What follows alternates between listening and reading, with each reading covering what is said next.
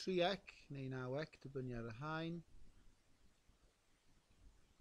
arwynebedd, um, sori, yr... Er... Reit, defnyddiwch y graffydd o gamod ymharan o ras mae'r athlet yn teithio fwy o pell, fel rhan ecda. A wedyn dwi wedi sgwennu o dan oedd wedyn. uh, glirwch eich ateb.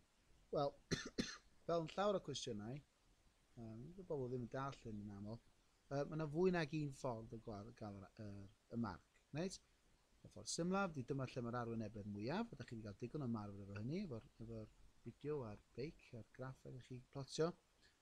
Uh, a wedyn uh, so just deud yr arwynebedd mwyaf o dan yr hanbarth yna, reit? Neu ydych chi ddeud bod yn teithio gyflymaf adeg hynny, un marc, am yr amser hiraf. Un marc. Okay? So unrhyw ddau o'r, or tri ateb hynny, mae hwnna, yr arwynebyd mwyaf o dan y graff, jyst yn cael y ddau marc yn syth. Okay?